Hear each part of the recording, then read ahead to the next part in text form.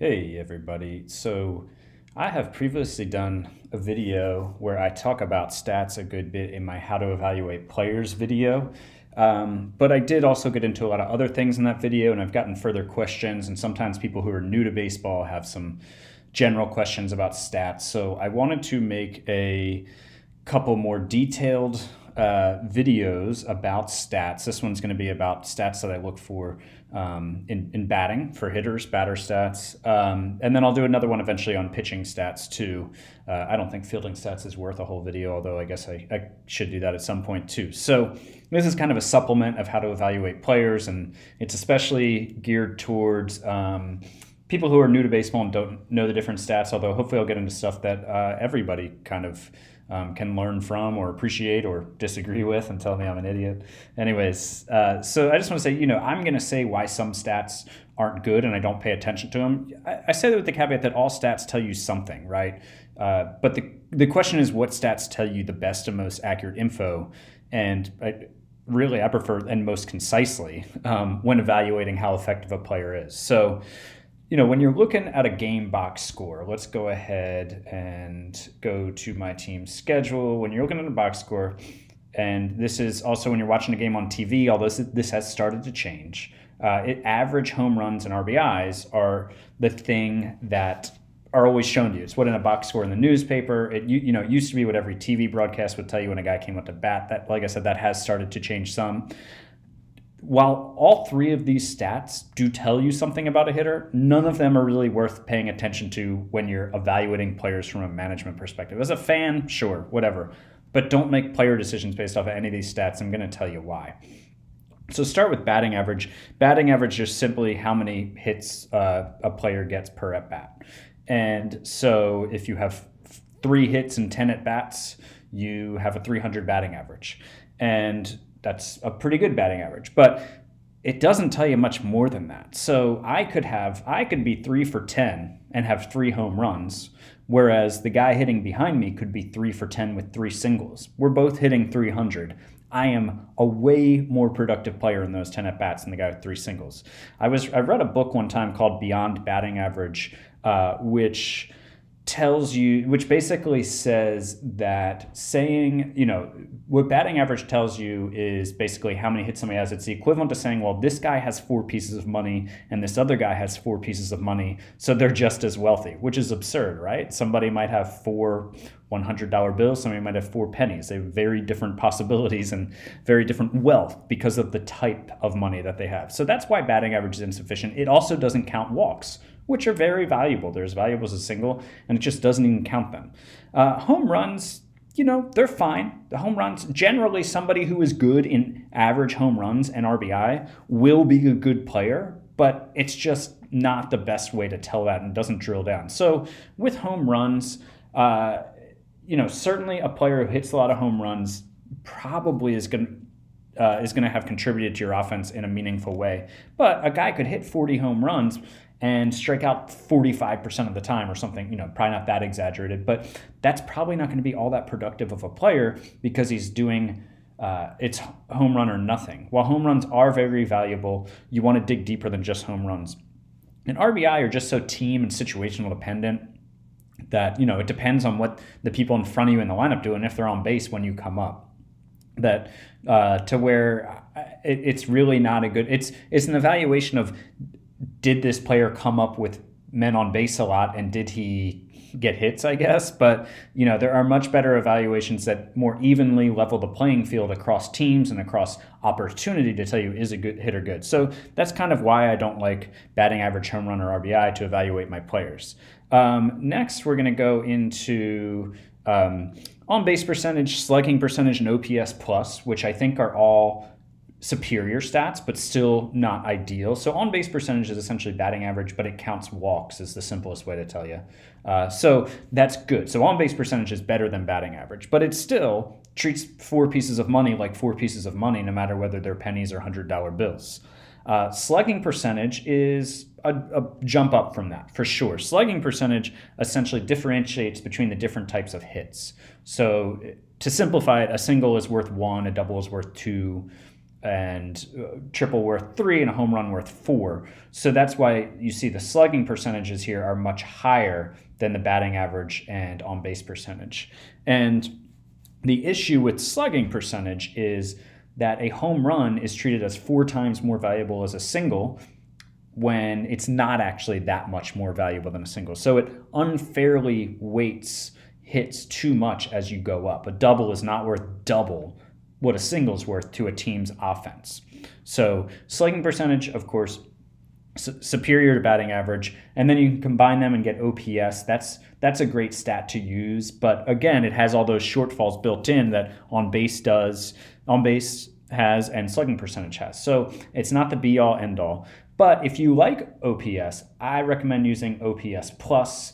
Any plus stat that you see normalizes the stats for run environment and for uh, it, rec- it for sorry lost my train of thought there and for park factors. So say you know uh, offenses change across time period. So here I've got the baseball reference stats up and you can see on base percentage or let's look at OPS in 2020 a 740 OPS was the league average right so down in let's see, go down to 2004 and a 763 was league average. So you can see the 23 point average just in the uh, in in what the league average is 782 in 2000. So when you're looking at it, you can't just look at an OPS and compare a player even within your own sim because you don't know what the offensive environment was. You know, here a 740 OPS was league average. Down here in 2000, 740 OPS would have been well below average. So that's why I prefer the plus stats. And what a plus stat does is here, um, if you want to look at this guy, Gunnar Henderson, in my sim, and just look at his major league stats, is it adjusts it for league average. So if he's 100, then he's league average. Here he's a 99, that means he's 1% below league average. So a 758 OPS was about league average. The next year he had the same OPS and it was 2% below league average. So the, the offensive run environment was really similar. And then down here he had a 99 and it was 746. So the offensive environment has declined in my what that tells you is a 758 OPS in 2025 was the exact same relative to the league as a 746 in 2029. So that's why I prefer the plus stat. It, te- it you can compare players across leagues, across parks, and across eras. Um, to where the run environment within your league doesn't make players look good that actually aren't good because you can just look at well how good was he relative to the league right? So that's why i like plus stats a lot. Ops plus stat is a very good stat um, but i want to get into this one weighted runs created plus i think is a better stat. And to first get into that i'm going to talk to you about weighted on base average which you don't see i don't have here I think it's available in the game. I think you can put it in, but I just don't put it here because it gets too cluttered. And to be honest, I like some of these old Tommy stats because that's how I grew up, and I still use them as a not as a barometer, but I still like to see them. But weighted on base average is a step up from all these stats. And I'm going to go to Fangraphs here, which is a great resource if you uh, are looking for a. Let's go see if we can get this ad to go away without opening it. There we go. Uh, so weighted on base average, the reason why this is superior is like I was saying with slugging percentage counts a single or a home run four times as good as a single. Here you can see what each thing is worth. So a single is, uh, so let me just make sure I'm doing this right. Yeah, so a single is worth 0.89 runs. And you can go back and look at linear regression models not to see if you want to see how, how they came up with that. But essentially, a single is worth 0.8 run, 0.89 runs to a team, and a home run is worth 2.10. So over double the value, but not four times the value that slugging percentage gives you. So that is why weighted on base average is superior. If you're going to do one catch all statistic for offense, I recommend using uh, weighted on base average over most anything except weighted runs created plus. What weighted runs created plus does is it essentially takes weighted on base average and it adjusts it to park factors, it adjusts it to era. It does the same things that OPS plus does uh, to OPS. So there's also a weighted runs created stat, um, which so And you can see here, there's not often a lot of difference between runs created plus and OPS plus. Here, 85, 90, but here they're the same. They're off by three. So they're very similar, but I prefer runs created plus to be more precise. Um, and so that really runs created plus is the catch all stat that I use to evaluate a player. There's no one stat that's going to tell you everything, but if you're going to use one, I think one weighted runs created plus is the best because one, it's adjusted to park factors, league factors, era, all that. And you know 100 is league average, and 104, 4% above league average. 116, 16% above league average. So that's just, it's so easy to keep track of that. And so, what is a good runs created plus versus bad? Again, 100 is league average. I'm just kind of estimating here, but you know, once you start getting above like 115 ish, 120, you're working your way into an all star type player, and anything over 150 is just absurdly elite. I would say, in terms of the bottom end, I mean, I try to have everybody be near league average. That's not always possible. If you have a really, really good defensive player, you know, catcher, center fielder, or shortstop or something, and they're hitting an 80 or 85 runs created plus, that's fine. You know, you can see this one season, uh, Henderson put up an 85 runs created plus, but he still put up 2.2 WAR. So, you know, that's fine enough if they're returning some defensive value. Anything below 80, I would seriously start thinking if that hitter is worth whatever defensive value they're bringing um, which we can get into about war in a second. One other stat that I would just uh, pay attention to is uh, strikeout and walk percentage, how much player strikes out and walks. Again, these are not era adjusted, so they can vary wildly by era. And so, I, you know, I would say with the K percentage, if a guy's striking out over 30% of the time, you might want to look into that. You don't want a team. You can have some guys that are over 30 as long as they're returning value in other ways, but you don't want a whole team of that. With walk, same way. You know, if you have a whole team of guys under like 4%, uh, that's going to be tricky. But, uh, you know, I'd say average is around 8 to 10%, probably, probably more like 7 to 8%. Um, and, and anything over like 12 to 15% is excellent in the excellent range. And so that's another stat to keep an eye on. Again, individual players can be outliers there. You just don't want your whole team to be outliers on the bad side of things. And then last, we're going to get into war, which is wins above replacement.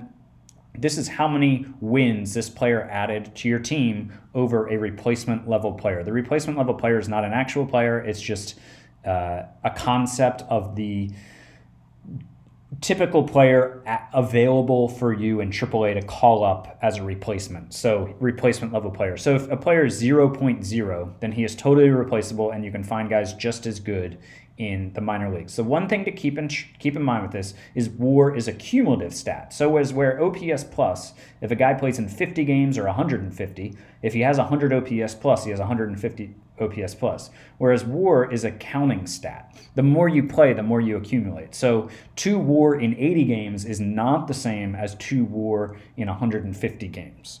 Uh, and so just to kind of, I think WAR and OPS plus are probably the two stats I look at when I'm looking at, or sorry, WAR and runs created plus are the two stats I look at the most.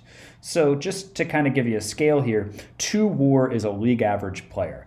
Uh, and again, we're talking about guys who have played close to a full season. If a guy puts up two WAR in 50 games, he's way better than league average. Guy puts up two WAR in 150, 160 games, or a two WAR pace in fewer games, he's a league average player.